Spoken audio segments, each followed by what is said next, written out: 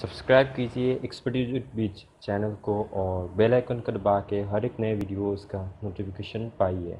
कि यहाँ पे आपको करना है इसको राइट क्लिक करके ऑडियो रिटैप ये ऑडियो सेपरेट ठीक है? और शो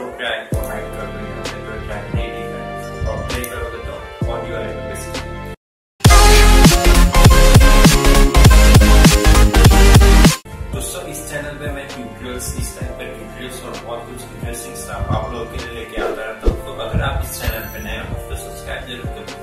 तो दोस्तों एमपी बनाने के लिए आपके पास जो भी वीडियो है, जिसका आप एमपी बनाना चाह रहे हो, उसको इम्पोर्ट कर लेते हैं। मैंने कोई भी अपना वीडियो इम्पोर्ट करा दिया यहाँ पे।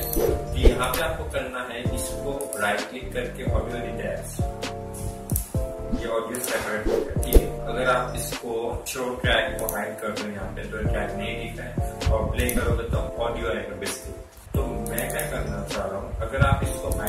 या शो करो डजेंट मैटर आप यहाँ पे एक्सपोर्ट में जाओ। यहाँ पे आप आउटपुट में नॉर्मल इसमें जाइए और यहाँ पे एम का ऑप्शन मिल जाएगा। ऑप्शन तो बहुत है, लेकिन आपको एम चूज़ करना है। अब यहाँ पे आके दिक्कत हो जाता है सब क्यों? क्योंकि जो सेटिंग्स है इसका यहाँ पे आपको एम रखना है, ठीक है एम है। और चैनल दो दो पे रखना है आपको। अगर दो पे नहीं है तो दो पे रखिए। और सैंपल फोर्टी फोर थाउज़ेंड हमें इसको करना है तभी उसका क्वालिटी इंप्रूव होगा।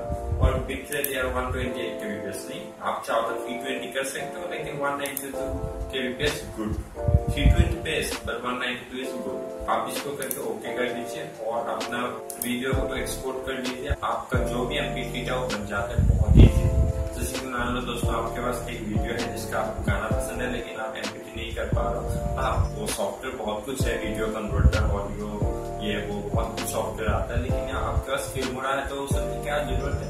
इसमें आपका ज़्यादा एफिशियंट होगा, आपको सेटिंग अपने आप चूज़ कर सकते हो कितना करना तो यही सर इसका फ़ायदा है। तो यहाँ पे मेरा एमपी ऑलमोस्ट हो गया तैयार देखिए दोस्तों, ये मेरा एमपी फोटोशॉप में ये जो भी था, मेरा ये एमपी बन गया।